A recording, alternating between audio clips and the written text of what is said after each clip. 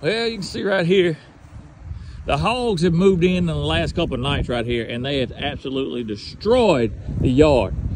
I mean, it's not even Easter yet. They ain't even had a chance to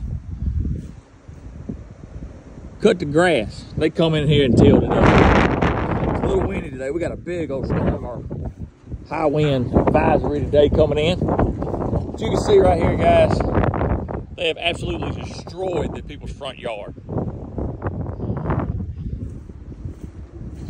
But the, but the landowner did say, he said if everything they were supposed to till up or they did till up, the only thing they didn't get was the garden.